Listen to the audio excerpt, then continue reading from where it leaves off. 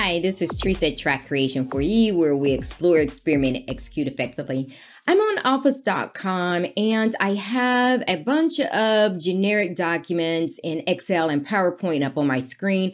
I don't want these cards on my screen, and I'm going to show you how you can remove them because there's an extra step you have to take to get them removed from your um, home page.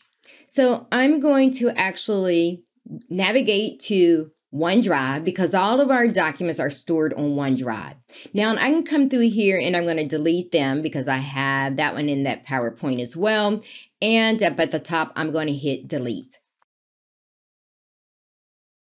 Well, when I delete, let's go back to Office.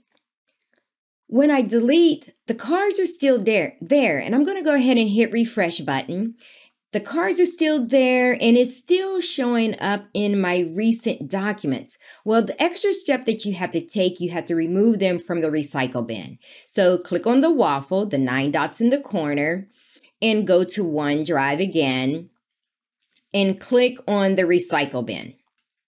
So this time around, I have to empty my recycle bin to make sure all documents are removed. Now I can actually go through and check one at a time or in this case, I want to empty everything.